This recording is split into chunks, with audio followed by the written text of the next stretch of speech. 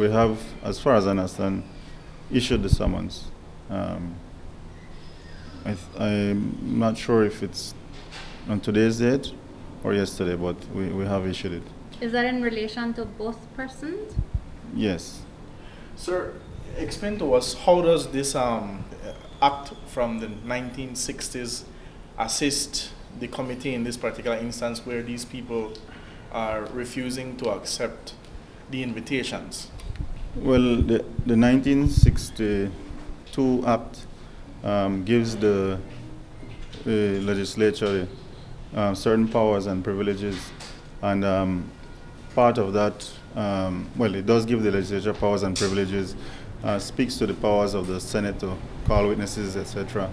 Um, how it is directly, how it directly affects us is that um, when these laws predate the Constitution, there's a constitutional provision which saves certain which saves all the laws that existed prior to, to the Constitution, and um, except that where there's an inconsistency with any law, then the, then that law must be modified so that the constitutional provisions are, are retained. A summons is a document which compels the attendance of a certain witness.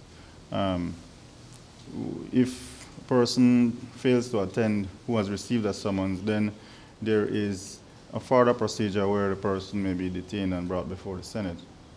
So I wouldn't call it a, I'm not sure if the, the language is, calls it a warrant at this time.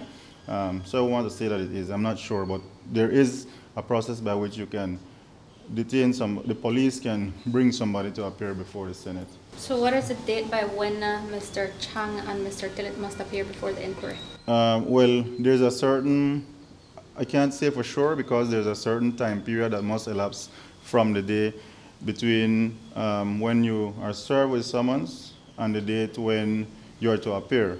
So that really depends on when service is, is effected.